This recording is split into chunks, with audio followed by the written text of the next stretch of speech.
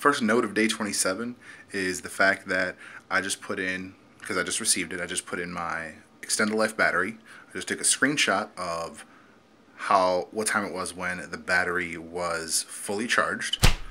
It said it was fully charged, and well, not at the screenshot. I had taken it off the charger already. Anyway, uh, I'm gonna see how long this thing lasts.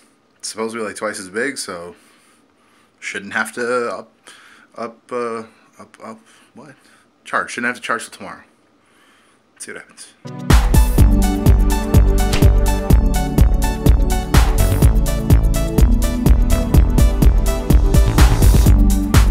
Not a whole lot else happened today. Did some work on the comic, did some more sketches, designs. Tired. It's almost it's 11 o'clock. Going to bed. Uh, I'm not working tomorrow, so should be able to get some more done. Got a little bit of learning done today, so sticking to it. Uh, I am skipping another day of the gym. Um, just, I mean, there's really no excuse, none that's legitimate. I'm just not going. Uh, I will be uh, doing at least a walk tomorrow. Probably gonna hit the gym though too. We'll see.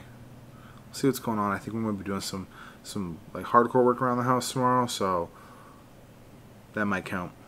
We'll see how much uh, how much of a sweat I get in. Appreciate you guys for watching.